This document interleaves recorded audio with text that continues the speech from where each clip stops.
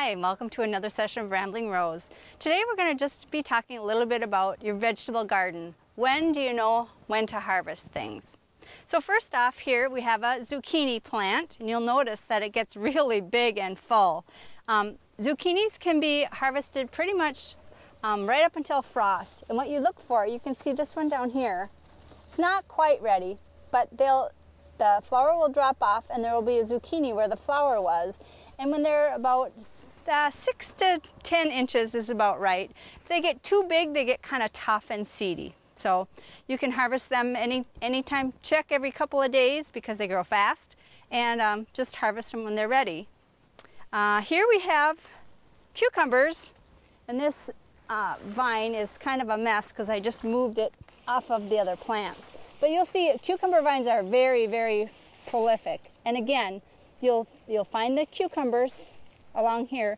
And when they're probably four to six inches, they're the best. And again, you don't want to wait until they get too big because then they get tough and kind of seedy. So check every few days for your cucumbers.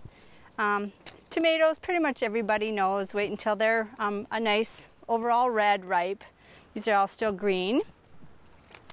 Um, here we have a yellow crookneck squash, also known as summer squash. You can see down in here, again, it'll be like the zucchini. Check every few days because, again, you don't want them to get too big and tough. That's a yellow crookneck squash, a summer squash. Uh, let's see, what else do we have? Um, corn. Everybody knows what corn looks like when you get it from the store. What you do is you wait until all of the the hairs are kind of brown. This is not quite ready. It's a little bit late this year.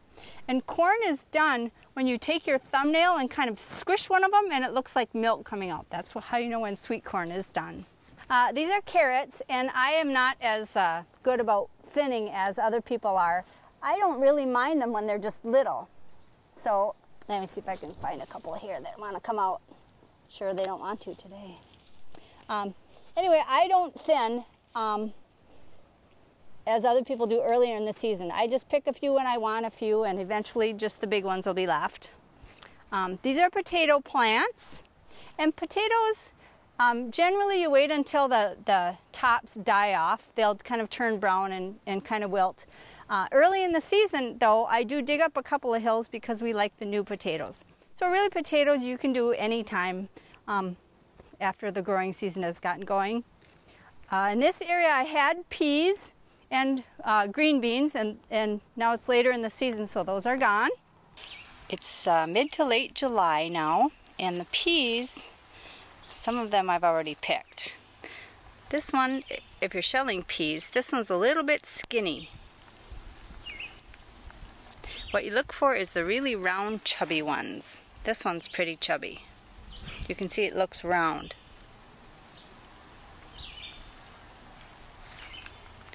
I usually, if I can't see them, if I have trouble seeing them, I give it a little jiggle and then you can see the, see the pods a little bit better as they jiggle. These are onions, uh, it's fairly obvious, and now the greens have all toppled over. So these are ready to be pulled. We'll pull them and let them lay around for a couple of days to um, dry out a little bit. Right over here we have sweet potatoes. And these again, you can wait until um, a light freeze. You don't want the potatoes themselves to freeze, but it's later in the season when we dig these up. And these are beets. And actually beets can be harvested when they're one to one and a half to three inches, um, just anytime after you see their shoulders kind of poking out like this. And in fact, actually the, the greens when they're young can be used kind of like a spinach or like a, a kale as a green. So that's beets. Well, I hope this has helped you decide when your vegetables are ready. We'll see you next time on Ramblin' Rose.